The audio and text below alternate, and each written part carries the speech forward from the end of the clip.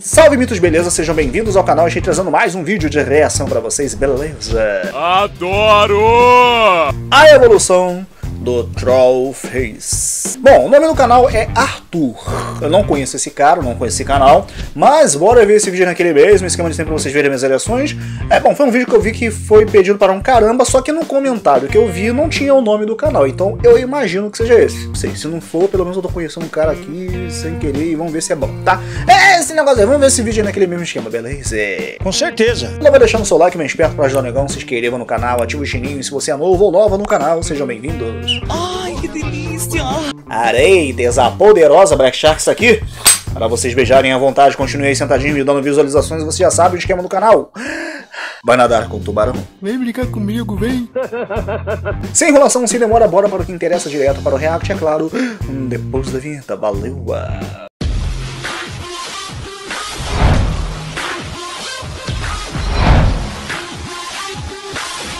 Alexandre na área.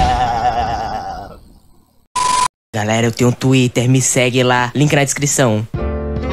Provavelmente um dos memes mais clássicos, icônicos e famosos de toda a internet é o Trollface. Ah, Trollface. Existia uma época onde, quando você pensava em um meme, a primeira coisa que vinha na sua cabeça era essa imagem. Ah, Alguns mais hardcore podem até considerá-lo como o melhor meme. Porque, tipo, o melhor meme do mundo é o Trollface, que o cara é me- meio assim. E bom, muitos podem até nem se lembrar dele, já que faz até um certo tempo. Ah. Mas como está o Trollface hoje? como é que ele tá? A maioria das pessoas podem achar que é só um meme morto, mas por incrível que pareça, ele está assim. Three easy steps. Ih, rapaz. Step one.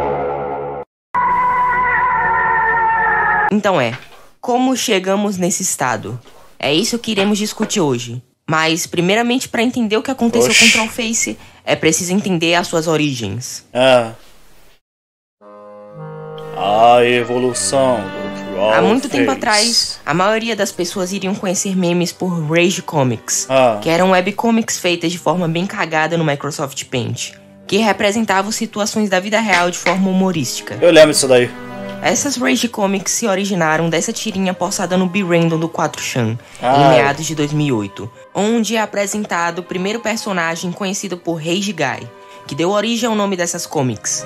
Ah, E é, essas tirinhas ficaram muito famosas dentro do 4chan, o que levou um cara chamado de Carlos Ramirez, um estudante de Auckland, a fazer a sua própria Rage Comic, feita para zoar trolls da internet, que introduzia um personagem completamente novo feito para representar um troll.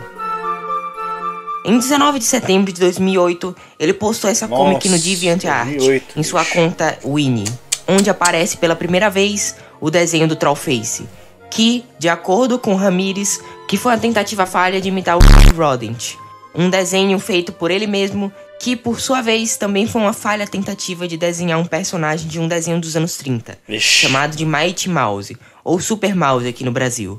E ele não só postou essa comic no DeviantArt, mas também no 4chan, onde lá ganhou muita popularidade entre os usuários, ainda mais com a ascensão das Rage Comics. E rapidamente o Trollface virou um símbolo universal para representar trolls da internet. E bom, as Rage Comics cada vez mais foram ganhando popularidade na internet e se espalhando por toda a web. E por incrível que pareça, o desenho de Ramirez conseguiu se tornar o mais famoso personagem dessas Rage Comics e provavelmente um dos mais famosos memes que já passaram pela internet. Cara, eu lembro que na época, foi em 2008, exatamente o ano que eu comecei a trabalhar como telemarketing. E lá no trabalho a gente tinha acesso assim a ficar mandando uma mensagem um pro outro lá, e mano, era uma zoação no trabalho, meu Deus do céu. E eles mandavam isso daí direto, esse negócio de Trollface aí, era zoeira total desse negócio, era febre, esse negócio desses, desses, é, desses é, mojos aí, sei lá.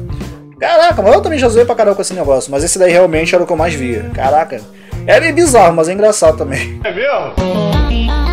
Geralmente as imagens eram acompanhadas com a legenda Ah. O Mad Bro ou Problem. Surgiu diversas variações Hum. do meme e o resto é história.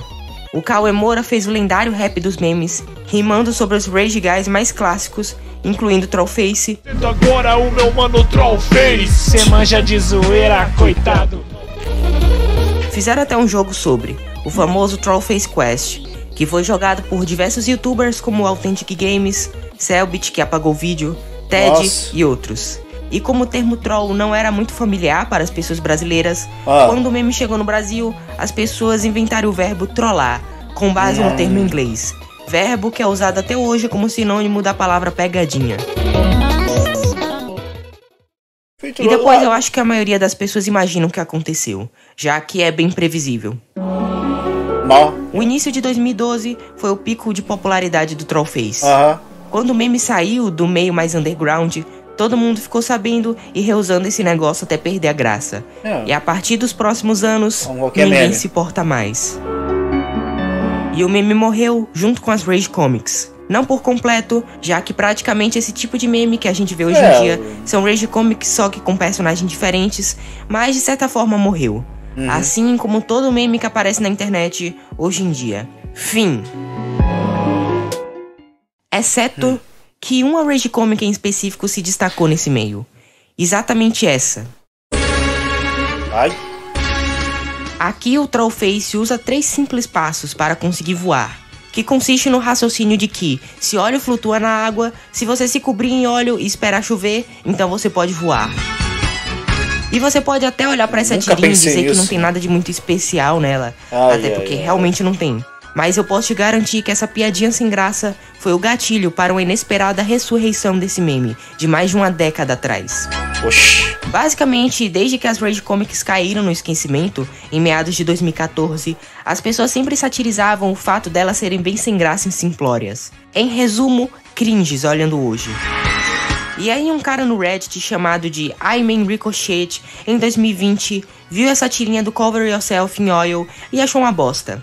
A tirinha original foi postada no 9gag, mais de 10 anos depois da queda do Trollface. Nossa. E ele interpretou isso como repost em pleno 2020.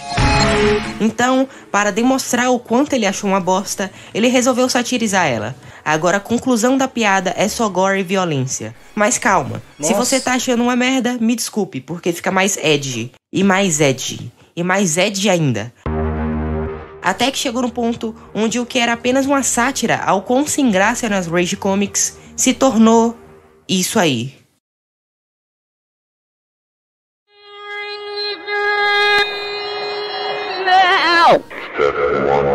Nossa. Hum. Meu Deus do céu.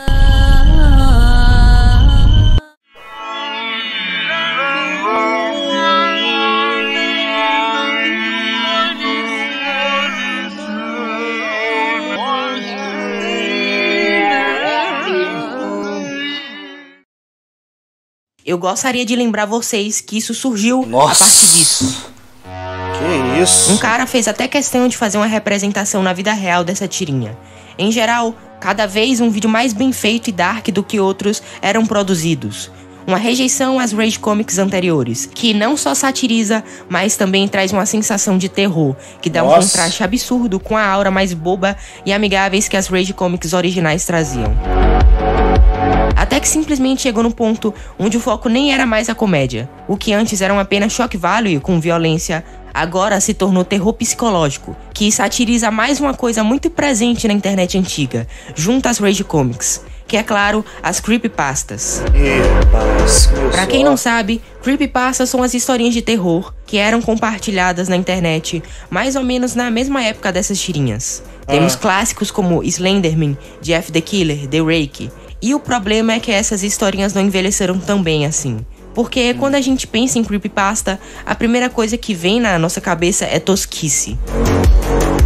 Quando éramos menores, obviamente a gente tinha muito medo do Slenderman. Mas olhando hoje, você percebe que nem é tão assustador assim. E apesar de ter algumas até interessantes e bem feitas hoje em dia, como a do Godzilla Ness, ainda assim a grande maioria dessas creepypastas, principalmente as antigas, são meio cagadas. E bom, como rejeição a essas creepypastas antigas, agora o Trollface aparece num contexto sinistro e muito diferente do que a gente estava acostumado. Agora o objetivo não é mais ser engraçado. A proposta é ser assustador. E sinceramente eu não tenho medo disso, mas eu gosto muito do conceito. Contudo, cabe a você decidir se isso é ou não mais assustador que as creepypastas antigas. Mas todo esse lado negro do Trollface deu origem a algo chamado de Trollge. Trollge. É uma espécie de corrupção da palavra trollage, ou trollagem em português. A primeira aparição disso são nos posts de um usuário do Reddit chamado de UnfunnyMan123, postados em novembro de 2020, que apresentou o Trollge como um evento cataclísmico e apocalíptico, o Nossa. pandemônio do Trollface, Meu. usando contadores de quando o evento iria começar, que combinou muito bem com a época da internet que foi lançada. Onde tínhamos as artes do Trevor Henderson como Siren Head, a teoria de que todas as cópias do Mario são personalizadas, a Wario Apparition e a creepypasta das Backrooms. Na verdade, o conceito de liminal spaces está bem interligado com toda essa volta do Trollface. E se você não estiver entendendo nada, recomendo ver o vídeo do meu amigo Chuxil sobre o assunto. E bom, foram surgindo mais memes com a hashtag Trollge no YouTube. E esse termo agora serve para se referir a memes assustadores do Trollface. Ah. E um em especial que se destacou de novo é essa tirinha do usuário Ebola Granola. É bola granola. Aqui, voltamos às origens com uma referência ao meme do Cover Yourself in Oil. Só que o criador mistura isso com o evento apocalíptico do Trollge e cria algo chamado de O Incidente da Escadaria do Céu, que Nossa. está marcado para acontecer em maio de 2021 em Nova York. Ih, já passou, já passou. Esse negócio ficou tão grande que as pessoas nem estavam mais compartilhando como meme, mas sim como algo que realmente iria acontecer na vida real, virando uma creepypasta mesmo. E esse incidente do Trollge deu origem a mais diversos incidentes, criando uma ramificação de universos e histórias diferentes dentro desse único conceito de Trollge, que usam a voz do Google Tradutor para ler histórias em formato de passos, assim como a primeira tirinha do Cover Yourself in Oil, e fazendo um excelente uso de efeitos sonoros para criar uma ambientação realmente sinistra. Ah, Na verdade, é algo que provavelmente recebeu muita influência da Fundação SCP, assunto que provavelmente vou fazer um vídeo sobre. Aí, fundação. Aí, fundação. Ih, rapaz. Vamos descoberto. E de lado Ó. a lado ao Trollge surge mais outra coisa, que é o Schizoposting. Postagens feitas explorando tópicos como demência, Alzheimer e outros problemas mentais. Que Meu. claramente foi influenciado pela obra do The Caretaker, Everywhere at the End of Time. Ah, Um álbum que explora os estágios da demência por meio de distorções na música. Assunto que eu já discuti nesse canal. E parece que a obra do mesmo deu bastante certo.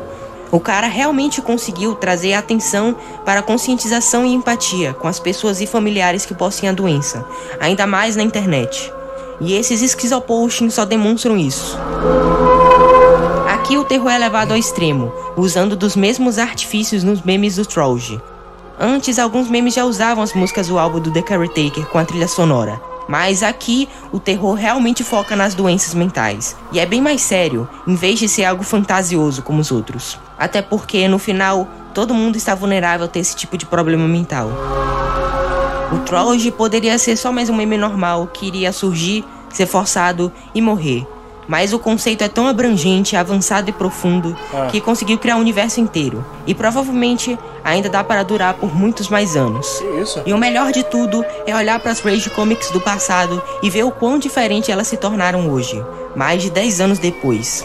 Hoje em dia, diversos memes antigos estão voltando, mas esse é o que realmente chamou minha atenção. E o mais fascinante é a maneira como ele voltou. Tudo porque um cara olhou para essa tirinha e achou cringe. Meus amigos, eu amo a internet. Caraca. Idem. Cara, vou te falar a real, mano. Eu não esperava que isso daí tava tendo essa repercussão. Eu não sabia disso, vou ser sincero pra vocês. É como eu falei pra vocês, esse negócio aí desses memes aí de trolls e tal, eu conheci, cara, na época de 2008. Não foi por muito tempo, a gente ficou zoando com esse negócio pra caraca lá, como eu falei no trabalho e tal. Mas não durou muito, realmente, não durou. Até porque também, né, chegou uma hora que ficou meio sem graça. Eu sabia que tava tendo essa, essa, essa importância, essa parada aí, mano. Meu Deus do céu. Teve umas partes aqui que, assim, deu aquele meio que. aquele friozinho nas pernas, mas não, foi, não chegou a ser medo, né? Realmente um negócio meio esquisito, sei lá. Não, uma coisa. Sei lá, mano. Tá, mas um negócio meio esquisito. A internet é meio zoada mesmo. Né? Eu achei mais tosco do que assustador, o pessoal falando aqui na, na live aqui. É, não tem como dizer que é de terror. Oh, caraca. Eu fiquei, eu fiquei mais coisa mais foi por causa do, da trilha sonora do que pelas imagens em si. Às vezes a trilha sonora me dá aquele arrepio na espinha, tá ligado? Que eu acho maneiro. É, eu, cara, eu gosto muito de trilha sonora, acho muito maneiro. Mas tem uma trilha sonora que realmente dá aquela, aquele friozinho na espinha maneiro, tá ligado? Aquele sensação de terror, mas só, que é a imagem em si mesmo. Enfim, Bom, gente, eu vou ficando por aqui. Eu espero que vocês tenham curtido meu react, tá bom? O link desse vídeo dele estará na descrição. gostei da forma que esse cara apresenta aqui o conteúdo e eu vou deixar a minha inscrição lá no canal dele. Bom, deixar o like aqui pro cara, bora me inscrever, né? E essa parada aí. Se vocês quiserem mais vídeos dele, já sabem o que fazer, beleza? Eu vou ficando por aqui. Muito obrigado a todos. Agradeço a todos os membros do canal que estão me ajudando aí, apoiando o meu trabalho. Agradeço a todos que compõem esse canal maravilhoso. O pessoal também do Twitch que está me acompanhando sempre. Muito obrigado. Por causa de vocês aí, esse canal existe. Graças a Deus por isso também, é claro, né, em primeiro lugar, porque se não fosse por ele, vocês também não estariam aqui, dando força também, enfim, você entendeu o que eu quis dizer. Gente, muito obrigado a todos, aguardem mais vídeos, até a próxima. Fica com uma dublagem minha aí no final, tá? E valeu!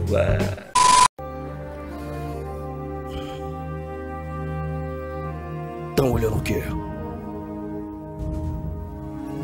Se inscrevam logo aqui. Ou vocês acham que são haters o suficiente para não gostar do negão. Querem beijar minha faca? Exatamente.